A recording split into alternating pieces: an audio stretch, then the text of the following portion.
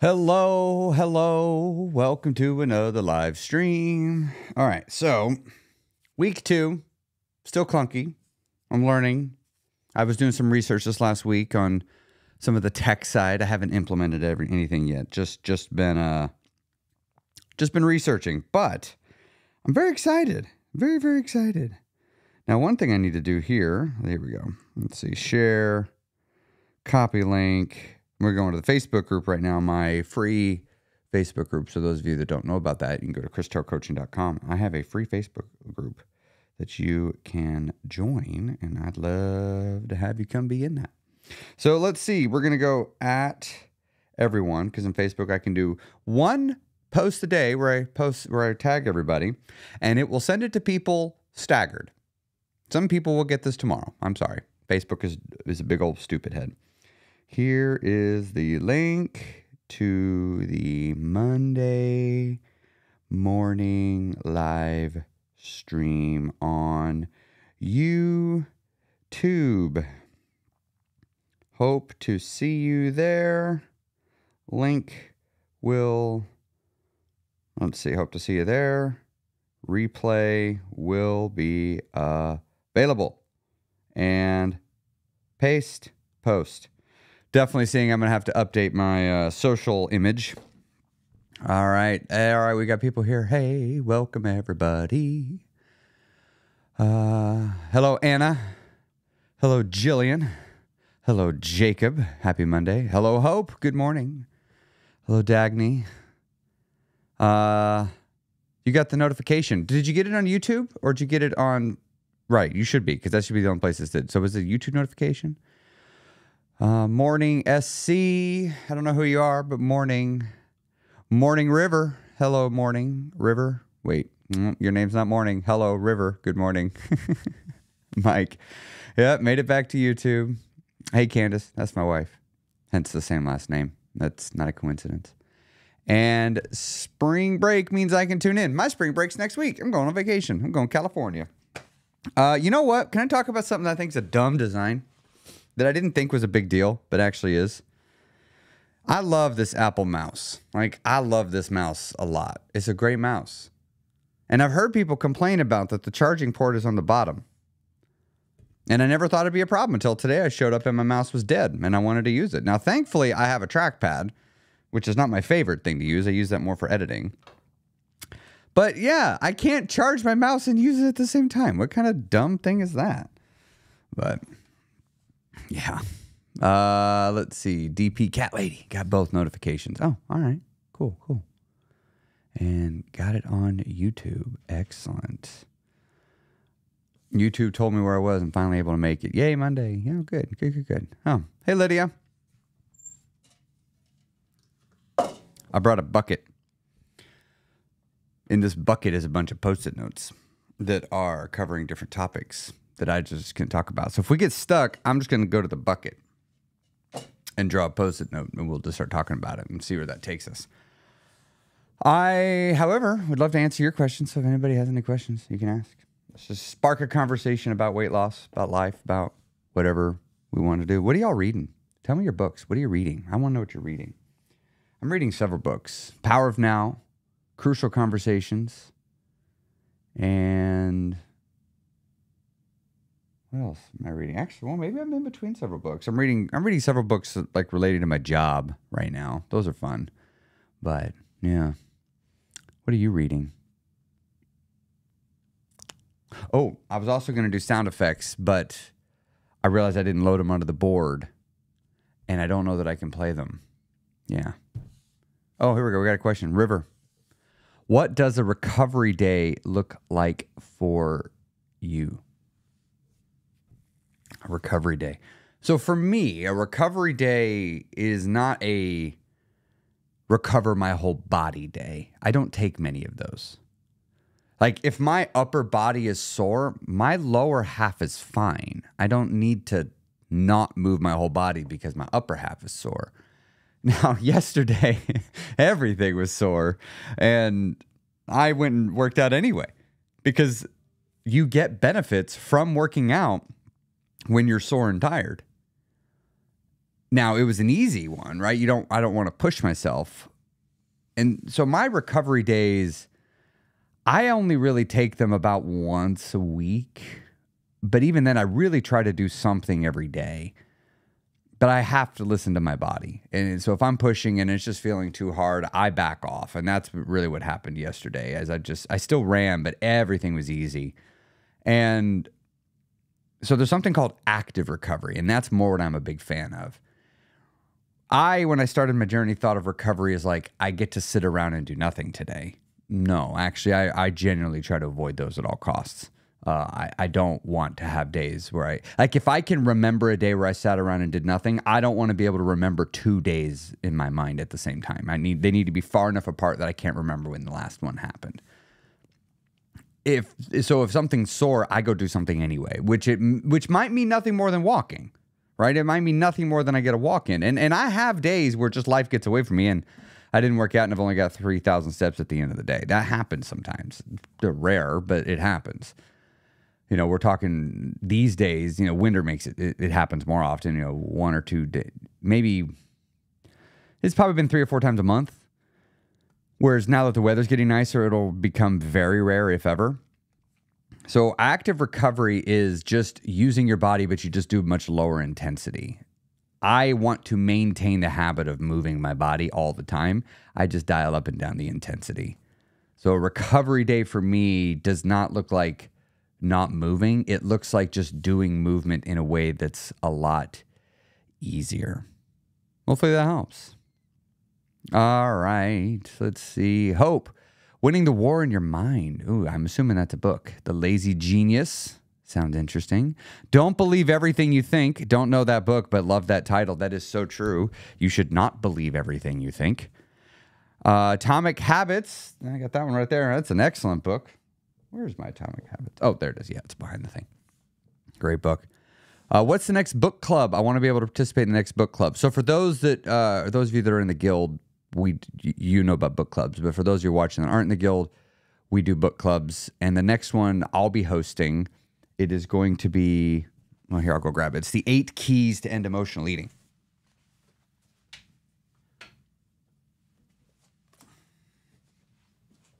This. This is the book we're reading. The Eight Keys to End Emotional Eating by Dr. Howard Farkas, who is a clinical psychologist specializing in the treatment of emotional eating. He is the founder and president of the Chicago Behavioral Health and clinical instructor in psychi- psychiat- psychiatry and behavioral sciences at Northwestern University's Feinberg School of Medicine. He is a member of the Academy of Eating Disorders, of and of the International Association of Eating Disorders Professionals. His book is excellent. So in the guild, I don't have that scheduled yet, but this is the next book club that is coming. And if you're interested, I'd love to see you at that one. That would be pretty sweet. All right, Dagny. I have a question. If you overate two days in a row, what would your next few days look like? Would you change anything? Well, this is largely dependent upon. This is dependent upon where I'm at in my life. Now, one second. I'm going to take just a brief moment because I have been doing this some. I want to do something here. Background, color.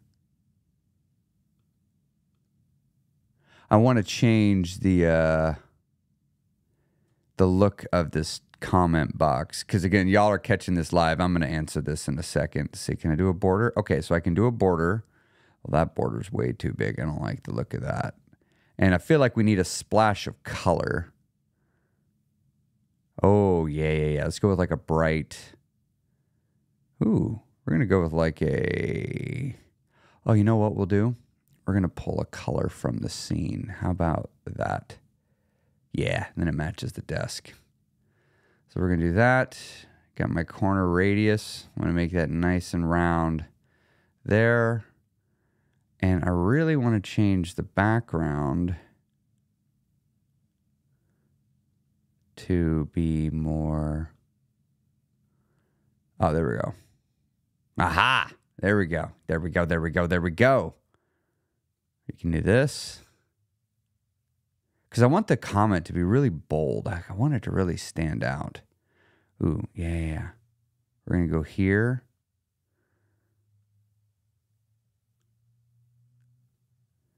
One second, everybody. I appreciate your patience as you bear with me while I attempt to do some quick design work on the fly. All right, this will work well enough. All right, this is this is a good job. Said I wanted to have it where you can just really see the comment a lot better. So if you're overate two days in a row, what would be what would the next few days look like? If I'm in a good headspace, like I am on, I think we're gonna put those right there. If I'm in a good headspace where I'm not really gonna beat myself up, well, hmm, hmm. Wow, this actually depends on why I overate.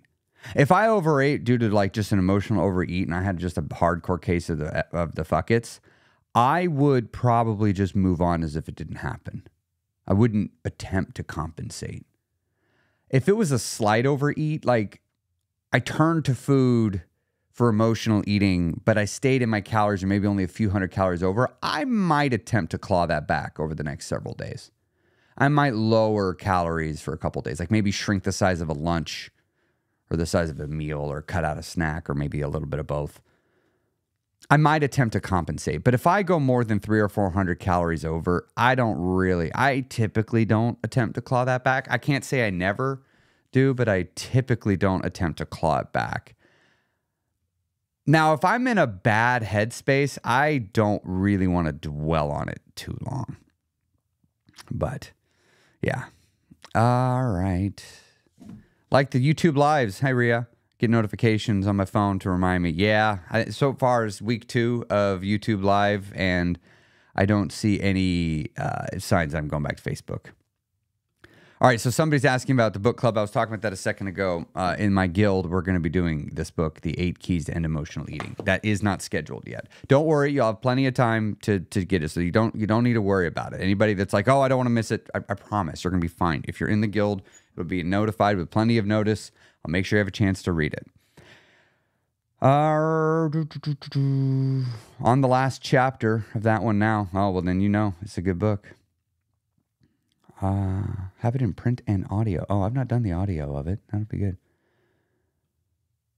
Why I had a cabin trip, ate more than planned. Okay. Oh, the why? This the this question you asked earlier about the uh, overeating. So uh, yeah, I would just uh, attempt to compensate if you can. I mean, if I went way over, I might either way. I might try to take a few calories back later in the week. Is what I'd probably do. All right. If you got any weight loss questions go ahead. Oh, my question: Do I have the van key? my wife asking about the van key. Uh, check my jacket hanging up on the wall. It might be there. I don't have it. No, I've changed all my clothes, so I don't. I don't have it.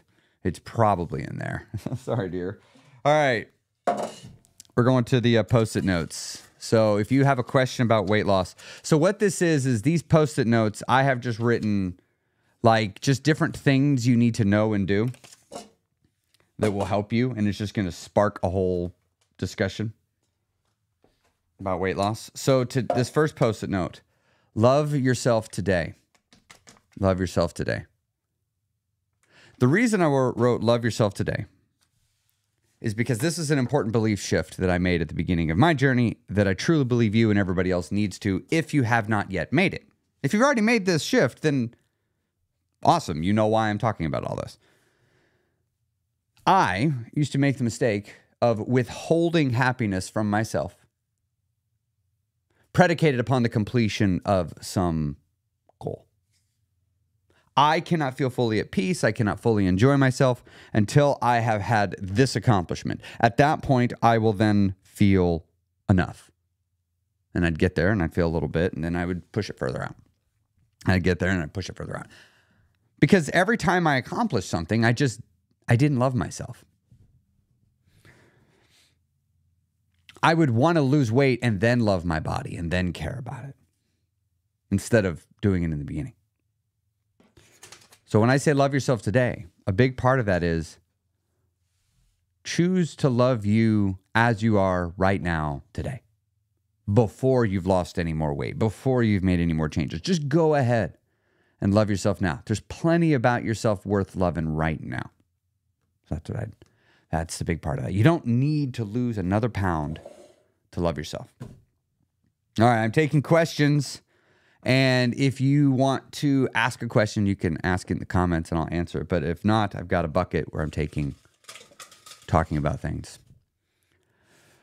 Michelle, learning to love myself. Thank you. How do you stop seeing all the bad things in self pics? By focusing on the presence of positives and focus on the changeables.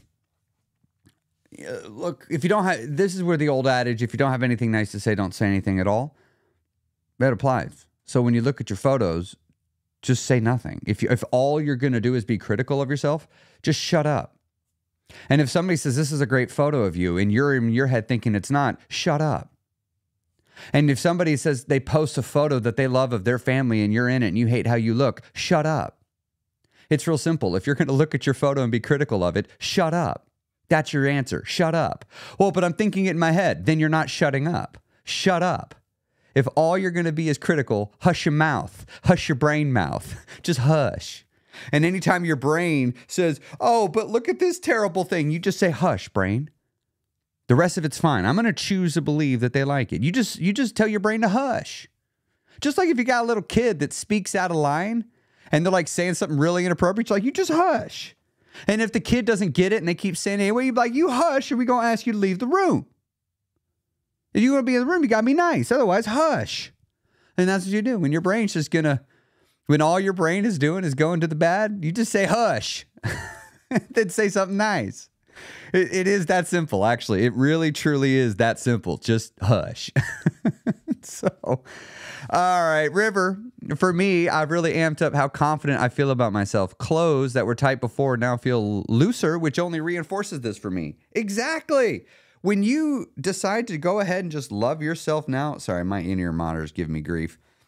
When you decide to just go ahead and love yourself now, as you move forward on the journey, you'll actually accept, you'll actually accept the good things that are coming. All right. Charlie, my favorite, find the good things about life and self now. It's the gateway to positive change. Totally true. Totally true. You're laughing out loud at the just hush. I know. I mean, it's, it's, sometimes we got to treat ourselves like a six year old and we got to parent ourselves a little bit. And that's okay. Nothing wrong with that.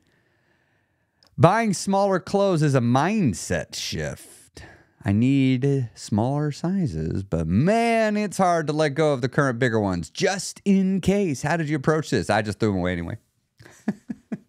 so I told myself this time if I got to buy bigger clothes again, that's my penance for regaining the weight back. I wanted there to be friction between gaining weight. I wanted gaining weight to actually cause discomfort in my life. And one of them to be I wanted the tension and pain of realizing if I don't start going back down, I'm about to size out of all my clothes to fit it, that fit, and I'm going to have no clothes that fit. I wanted there to be pain to gaining weight back. So what did I used to do in the past? I used to take all my fat clothes and oh, I'd be ashamed to throw these away because I might find myself back and I don't want to buy all these clothes again. So I'd put them up at the top of the closet or in the attic. So that way, once I gained weight, I'd just go dust off the box. It's like my failure box. Like, well, here I am again, old friends. No, no, this last time I just said, screw that, screw that. No, no, no, no, no. I am just tossing my clothes out, tossing them out. They're going away. I'm not leaving them. Why? Because I ain't going back. And if I'm going back, I'm going back against my will and I'm going back under duress. That's how I'm doing this. I am not just making regaining my weight back easy. I want it, I want gaining my weight back to be full of pain full of pain. I'm not going to make it comfortable because the problem is I kept making myself comfortable the, all the times before as I gained weight, making it easy for me to continue gaining weight. And it's such a twisted thing to say to be like, you mean to say I shouldn't let myself be comfortable? Yeah, a little bit. Yeah. Yeah, a little bit. I'm saying you should do something that makes you uncomfortable if you go in a direction you don't want to go. Think of it like guardrails, you know? Having the clothes, you start, I got to buy them, you'll, you'll feel them. What would you consider the big rocks of weight loss? Ooh, ooh, ooh, big rocks of weight loss. Big rocks thinking in terms of like a Stephen Covey thing. If you got to, um, you put your big rocks in first and then you add in all the small rocks instead of putting all the small rocks in and then get the big rocks. Or if you got a big rock in front of you and you know, maybe deal with that instead of the pebbles. But one of the big, big rocks of weight loss, uh, well, the biggest, the biggest is learning to eat when you're hungry and to not eat unless you're hungry. That's it. That's the biggest. If, if you can learn how to keep food out of your mouth except for when you're hungry, you're going to be fine. Seriously, you're going to be fine. And we always act like there's nothing we can do about it. Oh, if I think a thing, I have to put food in my mouth. No, you don't. You don't. But I have no control. Yeah, you do. But it's really hard. I believe you. But I can't do it. Yeah, you can.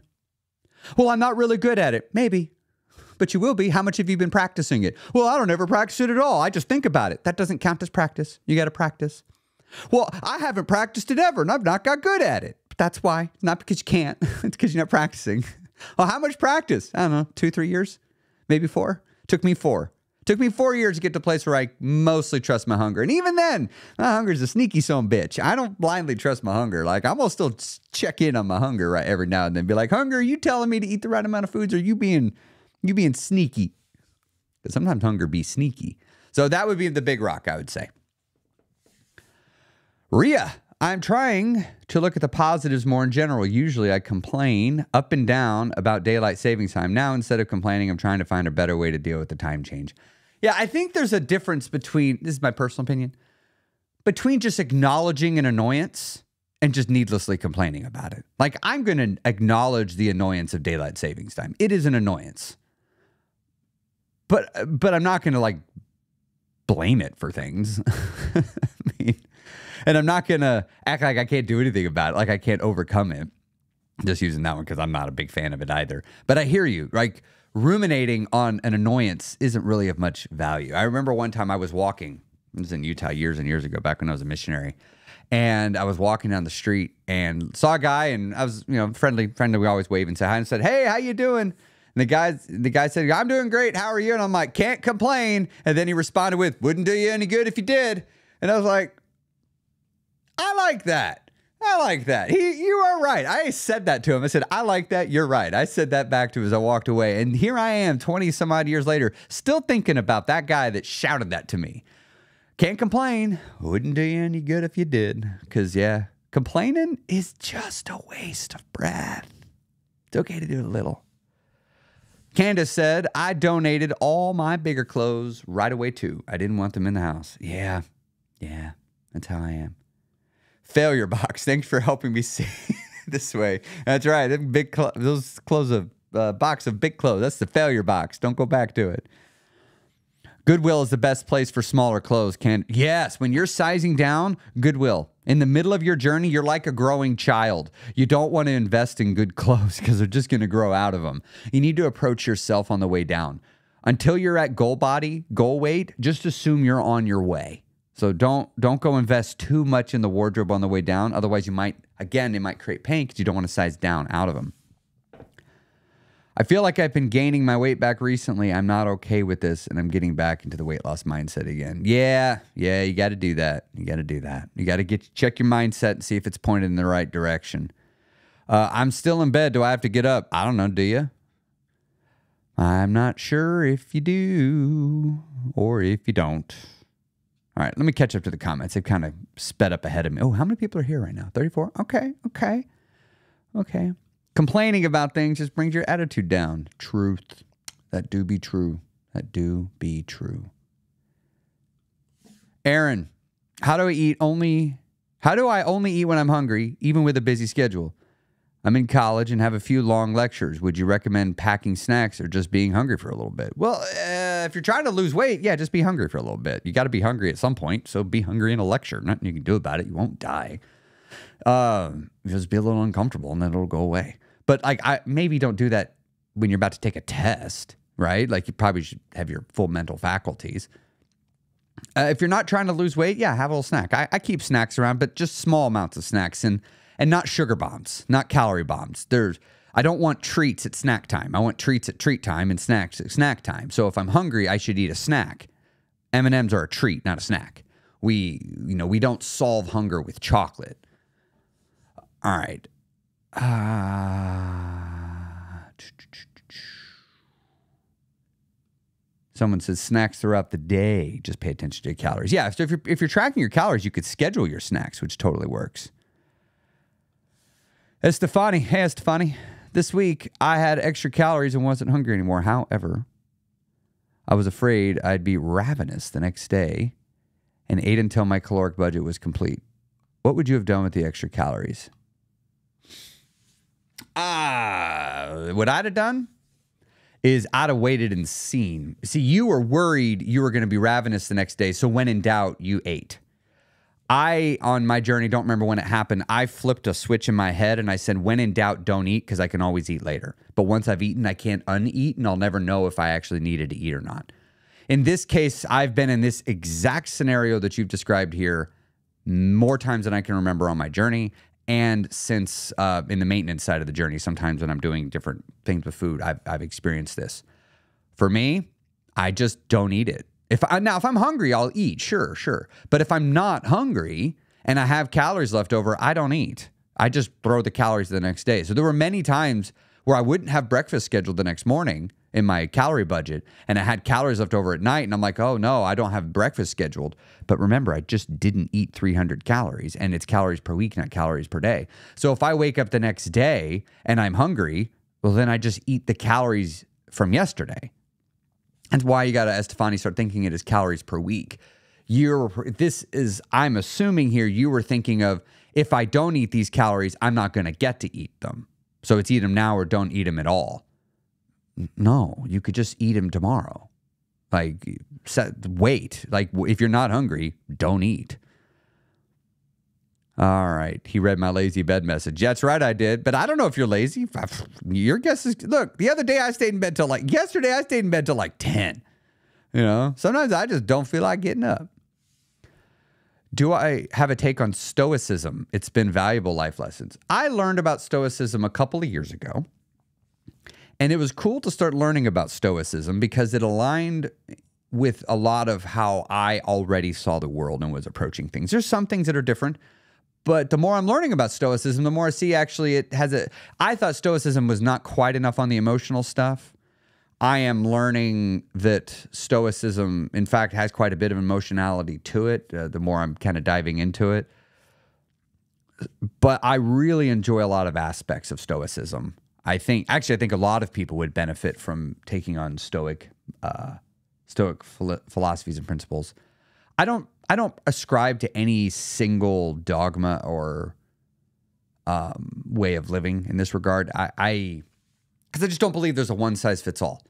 I, I, think you have to look at different. You have to take a little bit of everything and find something that works for you. And but I've noticed there's a lot of crossover, like presence and being fully present. That seems to exist across multiples, uh, multiple disciplines in life and multiple philosophical approaches to life. And I, so I think like that's an example where there's a truth. So if I can see something that exists in multiple philosophies, I'm like, okay, well, we're just rediscovering the same thing. We're testing the same thing. It's like gravity. And, and so that always makes me happy to see that. Uh, when in doubt, don't eat. Love this. Yeah. Yeah. Uh, oh, River, you said stoicism helped my mindset a bit during the weight loss journey. Yeah, I, I seriously, I don't think anybody would be uh, doing themselves a disservice if they uh, learned about stoicism. YouTube Live is way better than Facebook. Actually got a notification for live for once, right? Facebook is big old stupid head. I'm with you. I keep reaching a goal and then celebrate by eating. I get back on track the next day. How do I stop doing that? You stop acting like celebrations and food go together. In your mind, what you're telling me is you think celebrations and food are linked. They're not. Try having a celebration and not having any food, but that's not a weight loss one. You've got to break the mindset in your head that celebrations mean food. That's why you gained weight because life is full of celebrations. And if you think I celebrate, I should have food, but you're just going to keep eating. And just because it's a celebration, it doesn't get you out of eating when you're hungry. It's real simple. If you're, are you hungry? No, then don't eat. Now, are there actual bona fide special occasions where you will eat when you're not hungry? Sure, like a birthday, your birthday. Yeah, that would be one. Thanksgiving, if you're an American. Yeah, Thanksgiving might be one. Maybe you've got a family reunion. That might be one. But celebrating that you lost two pounds, no, that's not a special occasion. So uh, you got to break you got to break the mentality in your head that celebrations and food go together. All right. Oh, Julie, if I've learned anything from the show Naked and Afraid, it's that many of us have a good 21 days before we starve. Yeah, I have zero problems telling some of y'all just be hungry for a few hours. Well, Chris, this is so terrible. It's not. It's really not. You'll be fine. You won't die. It might be a little uncomfortable, but you need to practice feeling uncomfortable. So I gained my weight back from one year of starting. I'm back at square one. Well, you did it once, you can do it again. But this time you'll do even better because you got all the lessons from the last time. This wasn't a failure. You just learned another way not to lose weight. So when you go to lose weight this time, make sure you're doing it differently than you did last time and make sure you're working on maintenance. Sounds like you lost weight, but you didn't figure out maintenance until it was too late. My advice start working on maintenance now. Is there an exercise level known to trigger hunger? Uh, I mean, not like a a de facto standard, like it's definitely this. But I can tell you, if you make a sudden increase to cardio, you'll have a temporary increase in in appetite potentially. It's called the hunger, uh, the cardio bump, hunger bumps, cardio spike. But basically, people refer to when you you do a sudden increase. I had one just a little bit ago. I did an increase, and all of a sudden, I was like, for two days, I was insanely hungry. Like no amount of food could fill me, and you know, I was having like 3,200 calories, and but my normal day is like 22, 20, 2,400 calories. And uh, so, yeah, cardio, but it's temporary. So don't, I'm not suggesting you should avoid it, but if it happens and you happen to see like, hey, I went on a, a bump to my cardio, I wouldn't, I wouldn't, I wouldn't fret about it too much. Happy Monday. Happy Monday. All right. If you got questions, you can ask him, but I think we're going to go to the. I got a bucket full of post it notes with talking points. So I'm going to reach in here and pull out another talking point self improvement versus self healing. Self improvement versus self healing. Do you know the difference? Did you know there's a difference between self improvement and self healing? Self healing is going to help you recover from what's already happened. Self improvement is going to take you as you are and take actions that might result in you being improved in the future in some way. And it's vital if you're an emotional leader that you do both of these, that you self heal, but that you also self improve. Because sometimes your emotional eating is happening because something from your past is getting triggered when something presently happens. Like maybe you have in the past been um, rejected by somebody.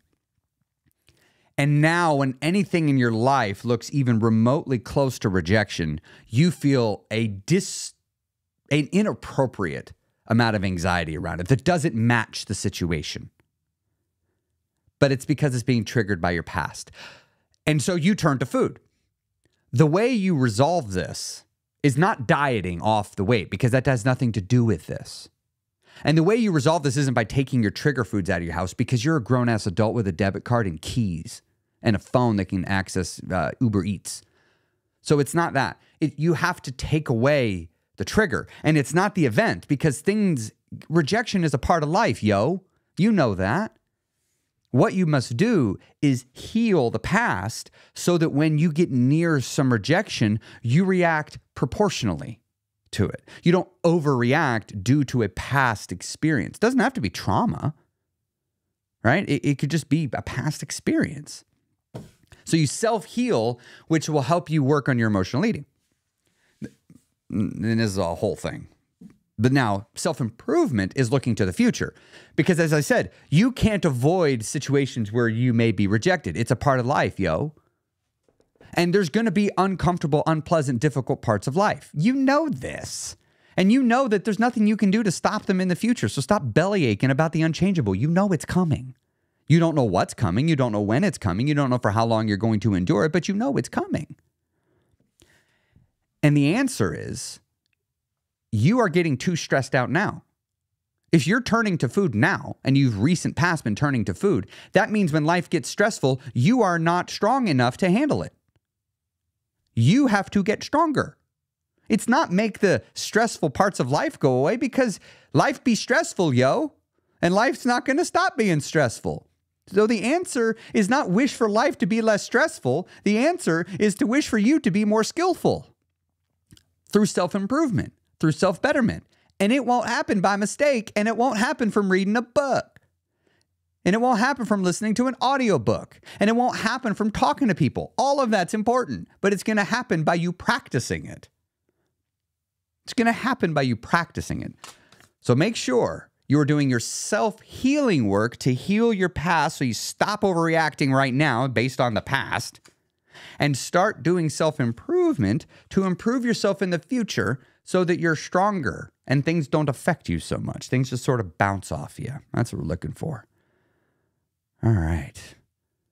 Great topic. Yeah, I like I like that one. I like that one. I like to really separate those two. Let's look here. All right. I remember walking around Kohl's for 45 minutes, unable to cross over into the regular size section because I was convinced I was still in larger size and tried everything. uh, I remember I was on my journey. I needed a winter coat. It came around to winter. I was living in Chicago. I didn't have one that fit me anymore because I definitely lost weight. And I'm in the larges and I'm like, these look too these these look like they should fit, but they're too big. And so I'd go to the small and I'd hold it up and I'm like, this is for a child. This isn't going to fit me. And I'd put it on and it would fit me. And I would just stand there in the store and be like, in disbelief, like, this fits me? This is breaking my brain. This is not supposed to fit me. And I'd have to like really get my brain to wrap its head around that, acknowledging it. Charlie, they, yes, they go hand in hand for me. Heal to improve. Yes, but they're two separate things, though. Just because you're self healing does not mean you're doing self improvement work. It's not the same thing. And just because you're doing self improvement work doesn't mean you're self healing. You can improve but not heal, and you can heal but not improve. They are two separate things.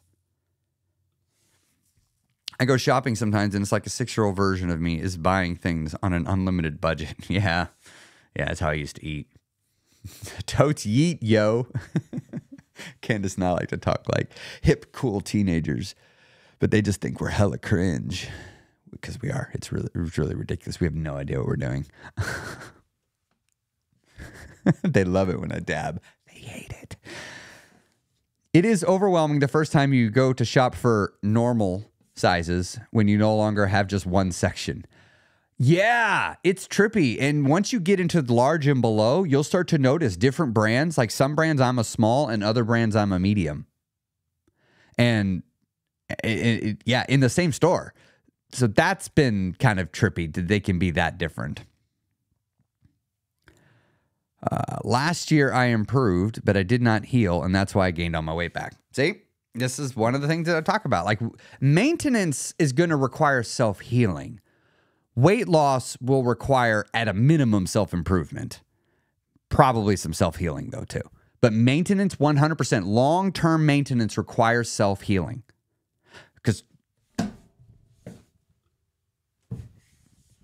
you cannot spend decades being morbidly obese without it fucking up your head. Seriously, yesterday I swore I saw my gut in the mirror. It was the strangest thing that happened. I was standing there next to Candace, and there was this weird thing that I'm like, I could see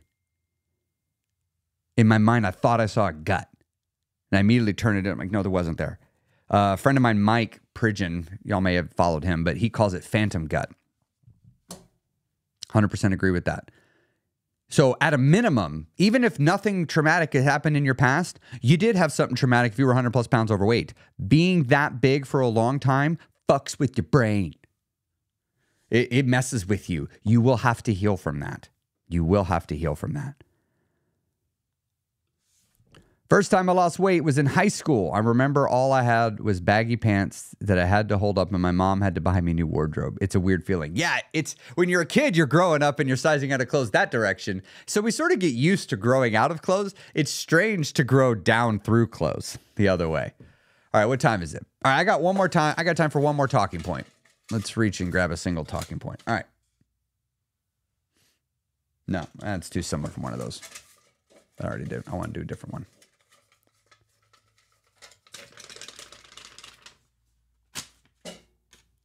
Oh, nah. Yeah, yeah, yeah, yeah, yeah. This is good. You don't quit the diet, you quit the experience. You've never quit a diet. You've quit the experience of in your in your head. That's all you've ever done. You don't quit the diet, you quit the thoughts. Because think about what happens when you're on a diet. It can sometimes become a very miserable place in your head. And a lot of y'all did the same thing I did. You decided to diet in a way that was actually physically uncomfortable too. Like, oh, I love just 800 calories a day and shakes. This is awesome. No, it was miserable. It was awful. It was terrible. Like, I hated having to look at foods that I wanted and be like, I can't have it ever. Because if I have that, it's going to make me fat. I hated that. And then when I'm having it, my brain, I'm like, you're just choosing to make yourself fat. Why are you doing this? And so I would try to turn off my brain and pump sounds. Like I would just be terrified to live in my own head. And so I would quit. I have quit weight loss that was working. I have quit working diets multiple times. I was losing weight. I, it's not like I was on a special occasion. I was here in the same town. I just one day decided I'm going to take a break and then never got back on it. And it was working. The scale at my gym now, many years ago in a previous weight loss attempt, I was swimming several days a week and I was doing keto. And I was loving the weight loss, but I was getting real sick of not eating bread. I was really beginning to miss carbs in my life. And it was getting into the summer. There was more barbecues. I was even thinking of things that's like, I just, I could do this if I could just have corn. I just want to have corn with everybody, but it's too many carbs. But I just wanted to have corn with a steak. That's it. If I could have a corn with the steak, or maybe just potato. Like if I could just have a potato, I'd be fine. And so I would, I was miserable, miserable. But I loved all the weight I was losing. So I kept doing it. And then I remember getting on the scale, thinking, oh, I'll bet I'm going to be 220. I'll bet I'm so close to 220. And it said 225. And I was like, you know, I really like 225. I really wanted to be 220. You know what? I'm just going to stop and tell everybody I'm 220. And so I started telling people I was 220 pounds because I'm like, well, I'm going to get to 220. I'm going to get there. So I'll just go and start telling everybody I am. But I'm at 225. And I was really discouraged by that, seeing 225. I was on the scale at the gym right after a workout. I didn't understand at the time about inflammation. I didn't understand that I actually could have been 220 and I just had fluctuated up five pounds. I didn't know that. I just assumed I was 225 pounds. And so what happened is I um I just stopped. And even later that day I got in the truck with my dad and my mom and I remember feeling amazing. And my mom and dad were like, "You look really good," because I just bought some new clothes, some new shorts, and a shirt because it was good. It was good. Weather's getting nice. And I said to them, "I'll never go back. I feel amazing. I, I you know, I'm never letting myself get that big again. I did. I did. In fact, a lot bigger. I never started again. Not for real. I would try to get something, but I could never make it past a couple of weeks. Yeah. Yeah. But I quit because the experience of losing weight just wasn't fun. I was enjoying the results, but I didn't like the, the process of getting there. If you like the process, you'll keep doing it even if you don't like the results. Think about it. Why you, you don't like the result of gaining weight, but you still keep doing that because you like the process. The process is fun. If you enjoy the process, you'll keep doing it because the fun is in the doing. If you can make the action fun, you'll keep doing it. And the results will take care of themselves. It's not like you get planned to gain weight. You don't need a plan to lose weight. You just need to plan to do the things that lead to losing weight. So, something just think about. I'm going to wrap up here. Welcome to another Monday live stream. So good to see you all here. These will keep getting better. I'm going to add some more things. Be sure to like, comment, subscribe, hit the notification button if you would like to be notified when I go live. I will be going live every Monday. I plan on doing more of these. I don't know when that's going to start, but these are fun. I enjoy these, and, this works pretty well. And if you want to be notified when I do go live, subscribing, pressing that notification bell will be the best way to make sure you get notified when I go live. I also will be posting in my Facebook group anytime I go live. That's CTC support group. You can find a link to that by going to christerrellcoaching.com. And if you want to be part of my group coaching program, you can join the Guild of Champions by going to theguildofchampions.com. We got a lot of guild members here in the comments right now. Recognize your names. Good to see y'all. Have a great rest of your week. For those of you in the guild, I'll see you later today in our accelerator. And then we got some more meetings planned out this week. And next week for me is spring break. So I do not know if I will be here live next week. That is a big old maybe. Uh, or because spring break. and I'm traveling for it. Have a great day, everybody.